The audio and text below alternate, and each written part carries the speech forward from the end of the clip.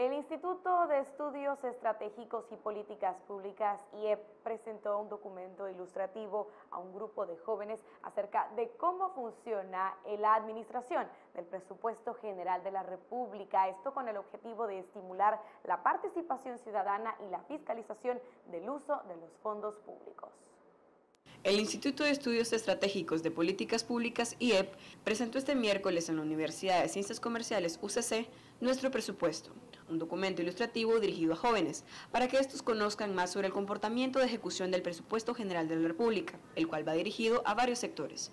Es que el desafío es cómo convertimos esta información y la hacemos llegar, porque no todos los nicaragüenses tienen acceso a Internet, no todos los nicaragüenses entienden una cifra ni las implicaciones que tiene una ¿Qué cifra. ¿No ha acarreado la falta de información? La falta de información, por una parte, desmotiva la posibilidad de participación de la ciudadanía. Si vos no tenés información, no podés participar. Lo otro es que también la, la falta de información también genera que aquellos inversionistas que quieren eh, apostar por el país no tengan información para hacer sus análisis de riesgo sobre lo que quieren. IEP espera que de esta manera los jóvenes se acerquen a esta información, la cual es considerada muy densa para la ciudadanía.